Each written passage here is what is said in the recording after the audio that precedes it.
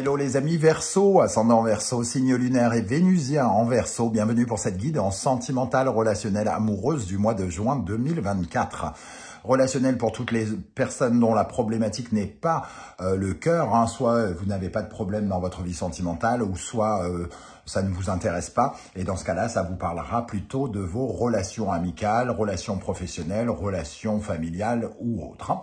Euh, je vous rappelle que c'est un tirage général qui ne peut pas parler à tous les euh, versos de la même façon. Donc vous prenez bien ces messages avec beaucoup de discernement. Vous prenez uniquement ce qui vibre avec ce que vous vivez et uniquement si ça résonne en vous, tout simplement.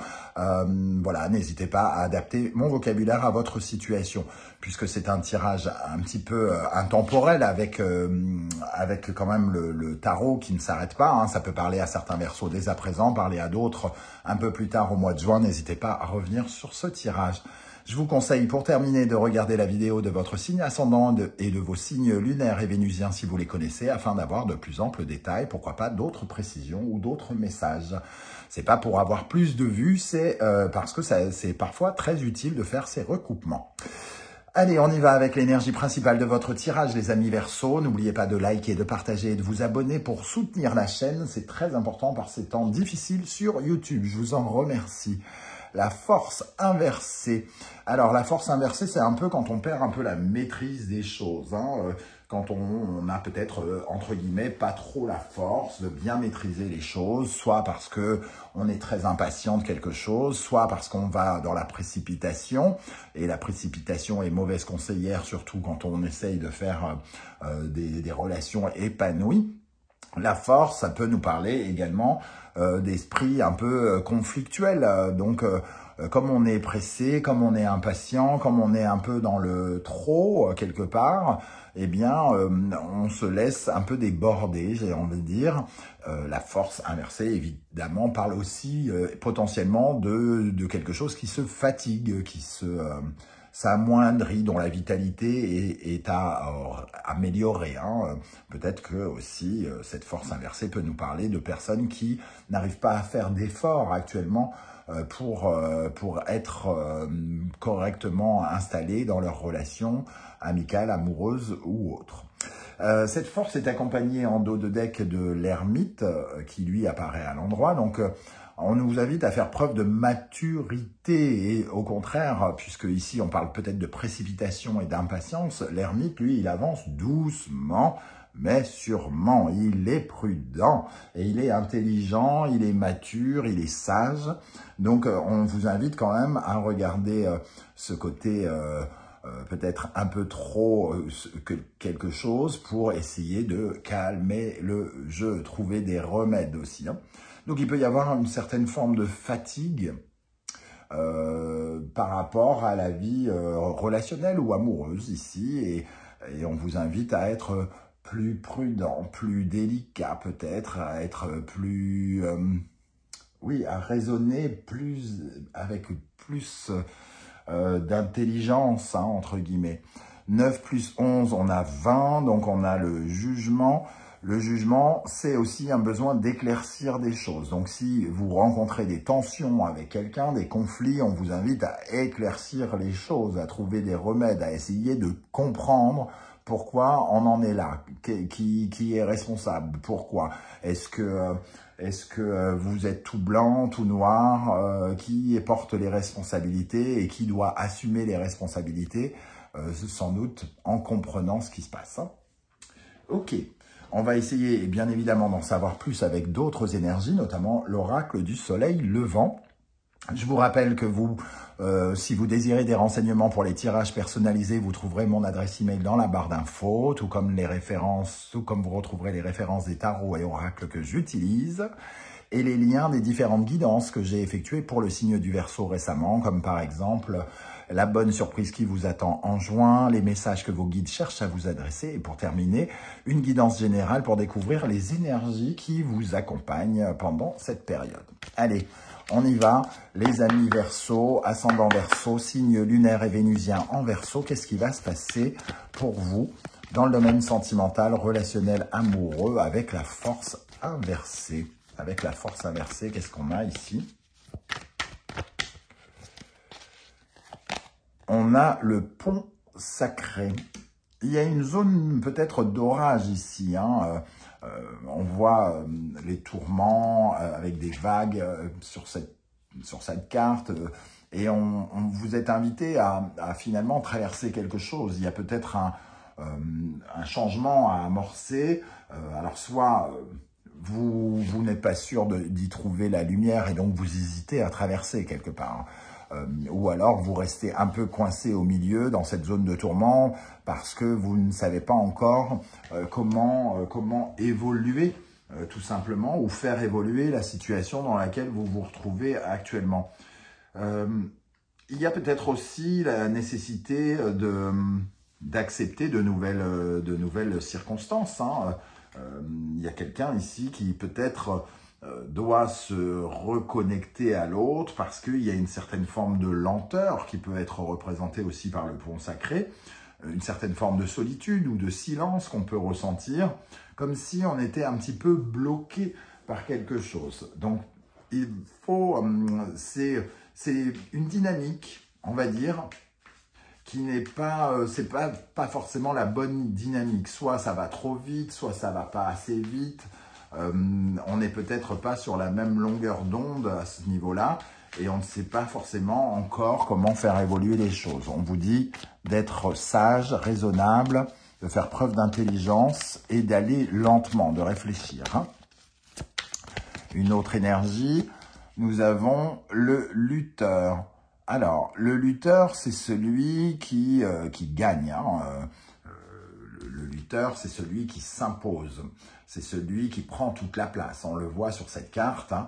Euh, le, lutteur, il fait barrage à l'autre lutteur face à qui il combat. Hein.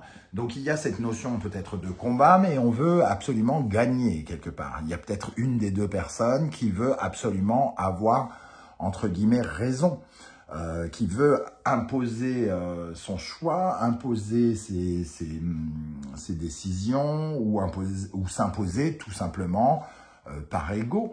Et ici, on nous dit, bon, peut-être qu'il y a quelque chose à comprendre. Soit comprendre pourquoi cette personne a de l'ego et veut pas lâcher, soit comprendre pourquoi nous, on on s'interpose peut-être face à quelqu'un et travailler justement cette place que l'on prend euh, ou qu'on ne prend pas assez. Ça peut être dans les deux sens. Hein. On peut euh, laisser la place à l'autre un peu trop, euh, ou au contraire, ne pas s'impliquer assez. Un troisième message avec la force inversée ici, qu'est-ce qui va se passer pour les versos? Alors, la poupée Kokeshi, un peu comme l'ermite, l'ermite il est sage, il apprend de ses expériences, il comprend. Et la poupée Kokeshi, elle nous dit de faire avancer les choses. Il y a quelque chose à comprendre ici, à apprendre. Hein. Il y a une leçon euh, face à, à cette force inversée, soit cette précipitation, comme je le disais, soit ces conflits qu'on peut ressentir. Euh, il y a quelque chose à bien analyser et à bien comprendre. Euh, il y a vraiment cette notion de la compréhension, l'apprentissage, ici les livres, l'éducation nous permettent de monter plus haut, de nous élever euh, philosophiquement ici, euh, spirituellement peut-être aussi, et humainement tout simplement. Ok. Quelle est l'énergie Quelle énergie va particulièrement vous aider, sur laquelle vous pouvez vous appuyer dans votre vie sentimentale, relationnelle, amoureuse au mois de juin?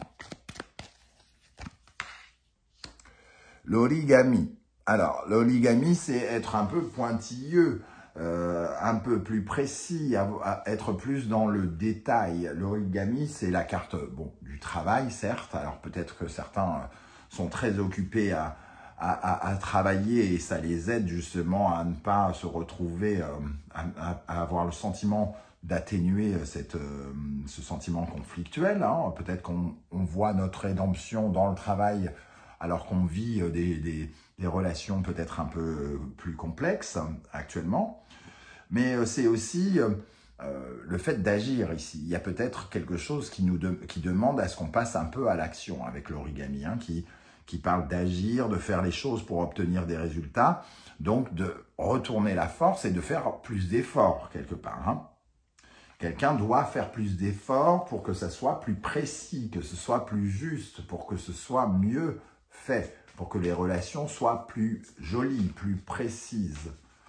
Euh, l'origami, c'est tout le soin que l'on apporte à faire quelque chose. Hein.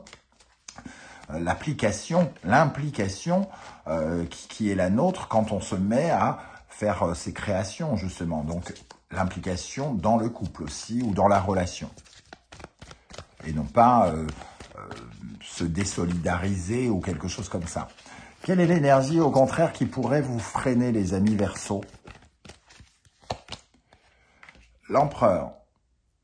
Alors, on retrouve euh, avec l'empereur un peu cette notion du lutteur. L'empereur, c'est celui qui est solide, qui peut être un peu autoritaire, qui peut être aussi protecteur, un peu trop protecteur, qui peut mettre son ego en avant. Euh, cet empereur, c'est celui aussi qui peut-être a beaucoup de mal à, ce que, euh, à accepter ce qu'on lui dit. Parce qu'il a son placement, parce qu'il est très ancré, il croit profondément en lui, euh, et il a peut-être du mal à écouter ce qu'on a à lui dire, parce qu'il se positionne comme le leader, comme celui qui, qui est vainqueur, hein, un, peu, un peu comme ici. Il y a aussi avec l'empereur la notion d'insécurité peut-être de, certains. L'empereur, c'est celui qui ne change pas, qui pense que de toute façon, euh, il, est dans une sorte de routine sécurisante, donc lui faire changer d'avis est peut-être complexe. Mais on doit apprendre soit à comprendre l'autre, soit apprendre à lui parler différemment s'il n'est pas en mesure d'écouter euh, nos arguments de la façon dans laquelle on, a plutôt tendance à lui, euh, à lui parler. Quel conseil l'univers souhaite-t-il vous transmettre au travers de cette force inversée? Quel conseil de l'univers ici? Ici, euh, Gémeaux, euh, Mercure, Scorpion et Pluton. On nous parle de conversation, hein, justement. Et ici, d'une dynamique aussi. Hein. Le Mercure, c'est la planète de la dynamique. Il y a une dynamique à changer ici.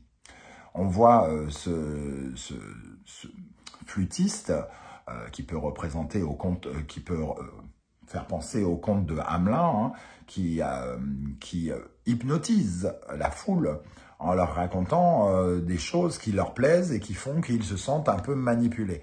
Alors soit quelqu'un essaye de s'imposer à vous et on essaye de vous manipuler et vous essayez de mettre fin à ça.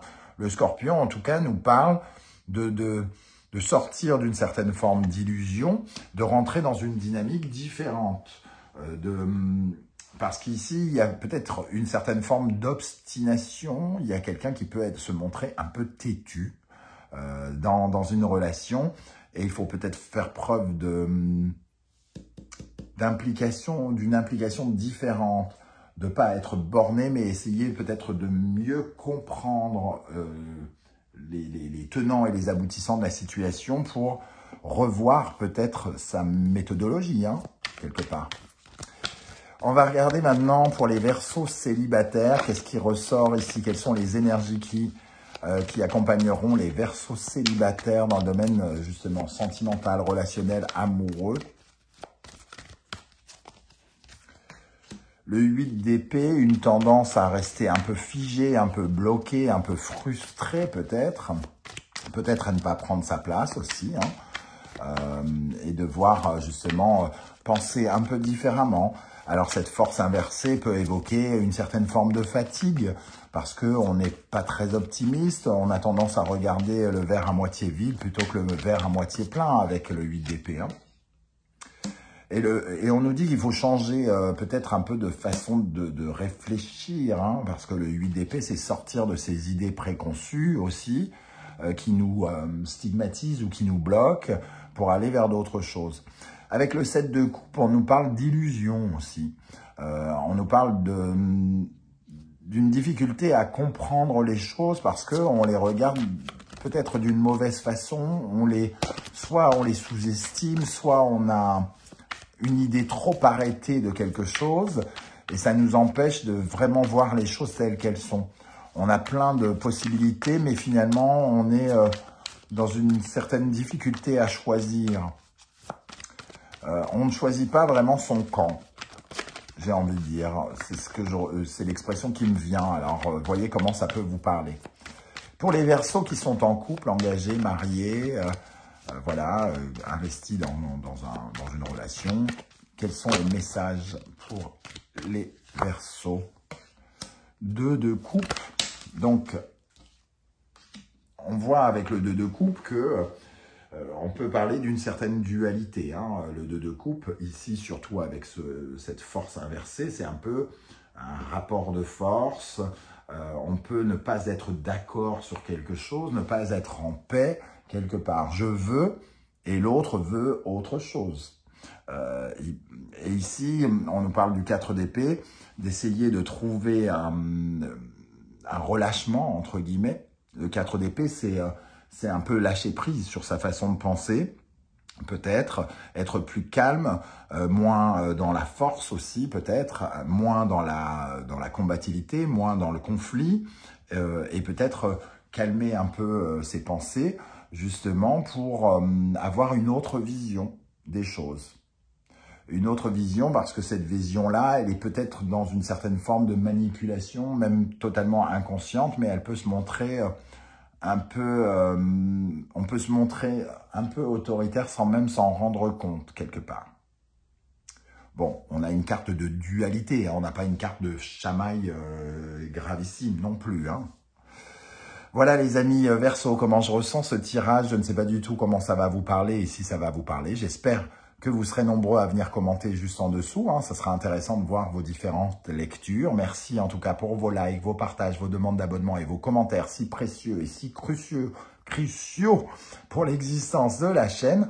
J'invite toutes les personnes qui euh, habituellement sont de passage et ne laissent rien de, de leur passage de juste liker, de juste mettre un coucou, juste un émoticône, ça demande un millième de seconde, mais c'est super important pour attirer l'attention des algorithmes YouTube qui sont si euh, qui, qui, ont droit de vie et de mort sur les chaînes. Et c'est très important euh, en ce moment de soutenir des chaînes comme les miennes. Je vous en remercie.